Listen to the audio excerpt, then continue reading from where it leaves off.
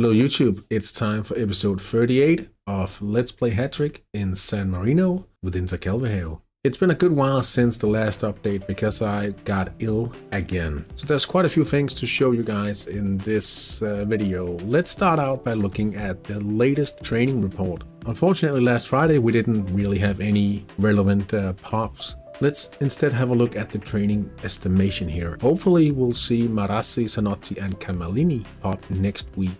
Let's just have a look at the training overview there we go. So if we have a look at Zanotti, he's at 2060 HTMS right now, but that will hopefully increase when he pops on Friday to Formidable PM. We have uh, Francioni and Camallini at 2012 HTMS as well, but they will be rising a little as well soon enough. If you remember the last time we looked at this sheet, you'll notice two new players. Those two players are Lias and William, and these are wingers, which we hope we can add a little value to by popping them a few times in playmaking. But mainly these serves as uh, a way of storing money away from the board reserves, which we are slowly approaching at this point. We are 25 million Danish kroner away from that point at the moment.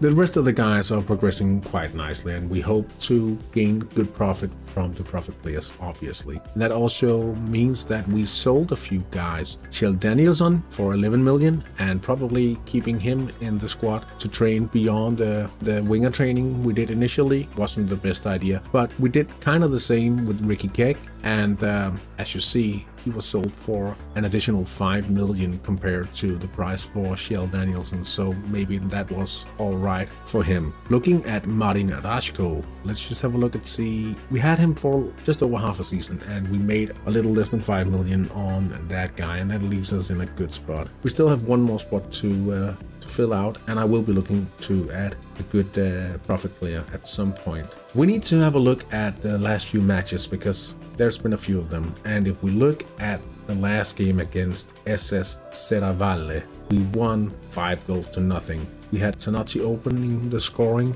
in the 31st minute here, and we'll get back to Zanotti because how good is he? Looking at the match the week before that, we actually managed to lose to a bot team, AC Chiesa Nuova. And uh, the only good thing about that game was basically Zanotti scoring. The friendly matches against the team in Denmark was uh, difficult in terms of gaining extra training because we had to practice some formation with the team in Denmark and we didn't get extra time in any of these matches.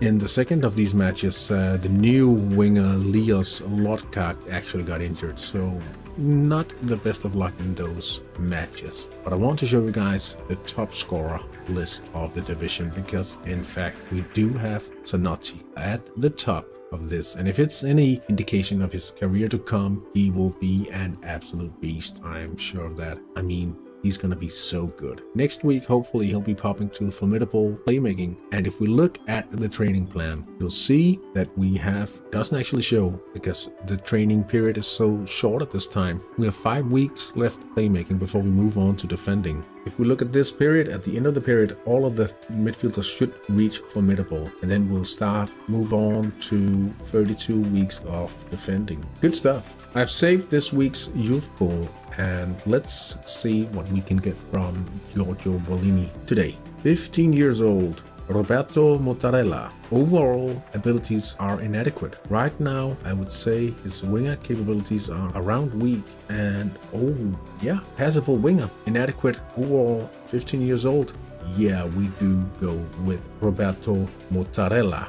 Nice one. We'll see what he's able to to do in other departments of the game. And uh, yeah, we'll see how we can check that out. We're actually training playmaking at the moment and defending, so we should be able to stick him in the lineup. Let's just set the last known lineup and um, Mozzarella. Let's put him in playmaking position. I noticed something about the stadium. I can actually change the stadium name for free for once. And of course, I was thinking about something along the lines of Giuseppe Meazza or San Siro or something. But do you have any good suggestions? If you do, please let me know in the comments and I'll be happy to take them into consideration. Right, that's all for now. It's uh, good to finally be able to post a new update because it's been a little too long since the last one. I hope you liked the video. Please consider subscribing to the channel and liking this video. Thank you so much for watching once more. I hope you have a great week in Hattrick.